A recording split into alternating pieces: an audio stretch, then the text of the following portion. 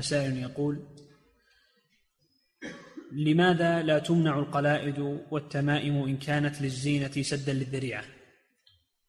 المباح لا يمنع يا أخي بل القلائد قد تكون من الدين. إذا كانت على الهدي إذا كانت على الهدي علامة على أنه هدي هذه من الدين والهدي والقلائد. نعم. أحسن الله إليكم فضيلة يمنع امرأتك لا تحط قلادة. ها؟ تقول هذا عموم القرآن عم الحديث عمم القلائد وراك تخلي قلادة على مرك وبنتك وخالك. نعم.